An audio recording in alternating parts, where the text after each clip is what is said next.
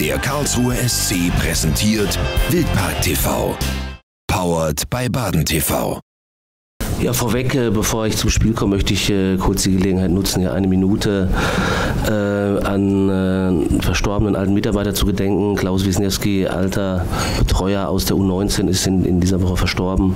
Äh, hat lange Jahre für den Verein gearbeitet, glaube ich, einige A-Jugendtrainer hier begleitet, mich unter anderem äh, stoisch, mich ertragen wir uns gegenseitig und er ist dieses Jahr diese Woche verstorben. da kurz, kurzes Gedenken.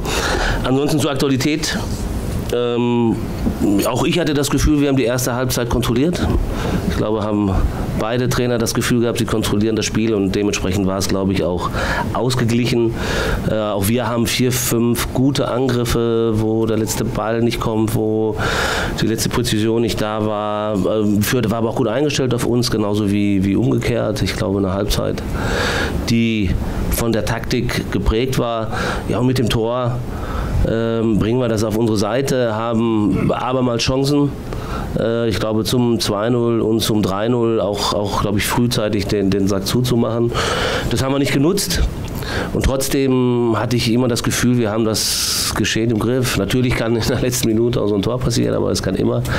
Äh, trotzdem hatte ich das Gefühl von der Körpersprache, vom Einsatz, äh, dass wir wirklich das Ding über die Zeit bringen und, und, dass wir das Spiel hier wirklich gewinnen. Wir haben alles dafür getan, auch äh, wenn man sich so die Laufstatistik anguckt, äh, gerade mal geschaut, das waren glaube ich 123 Kilometer heute. Ich glaube, dass jeder heute an seine Grenze gegangen ist, um wirklich hier zu Hause nach den, nach den letzten bitteren Ergebnissen wirklich äh, ja, die Wende zu schaffen. Und das haben wir wirklich alle gemeinsam getan und dafür ja, muss ich meiner Mannschaft auch wirklich Respekt aussprechen, weil wir es ja nicht leicht hatten. Ja, wir haben gut gespielt, dann sind immer wieder Gegentore gefallen, abgefälschte Klamotten, dann kriegt man Meter gegen sich, keine für sich. Dann startet das Spiel mit zwei Handspielen, äh, wo man denkt, oh, muss man vielleicht nicht geben, aber es wird prinzipiell, glaube ich, gerade drei, drei Hand ist einmal Elfmeter für uns so ungefähr, habe ich gerade das Gefühl. Und trotzdem haben wir nie aufgegeben und trotzdem haben wir immer weiter versucht, aufs Tor zu spielen, haben unser Spiel gemacht und das ist eine Riesenqualität, dass man auch allen Widrigkeiten hier zum Trotz und wenn es auf wieder gerade mal nicht so läuft, sich zusammenrauft, sich zusammenreißt und dann so eine Leistung raushaut. Äh, ja, davor Respekt, danke sehr.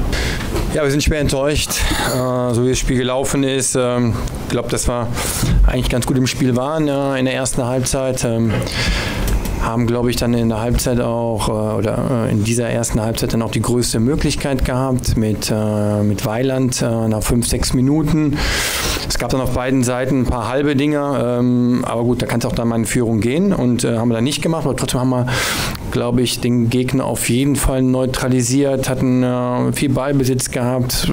Wenn man dann auch von Kontrolle sprechen kann, dann glaube ich, dann haben wir es auch so ein bisschen gehabt in dieser Halbzeit und äh, haben so ein bisschen gehofft, über eine Standardsituation vielleicht dann auch mal dann ein bisschen gefährlicher zu werden.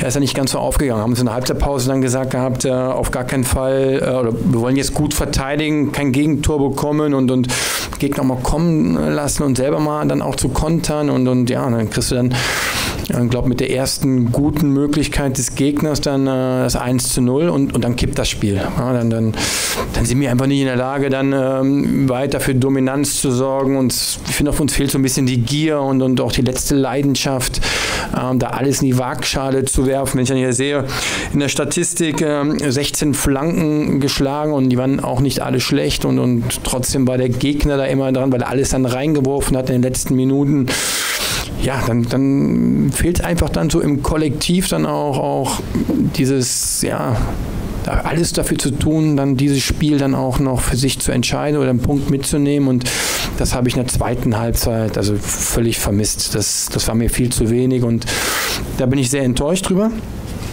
Mm, wir haben jetzt in den letzten drei Spielen einen Punkt geholt und es gibt da so gerade so einen Trend und, und der gefällt mir nicht. Und, und da müssen die Spieler sich auch ein bisschen hinterfragen.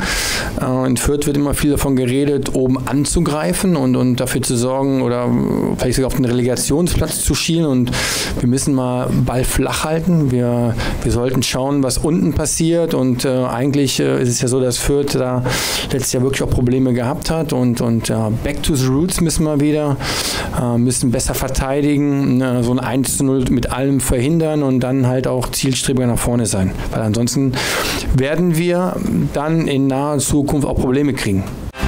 Der Karlsruher SC präsentiert Wildpark TV. Powered bei Baden TV.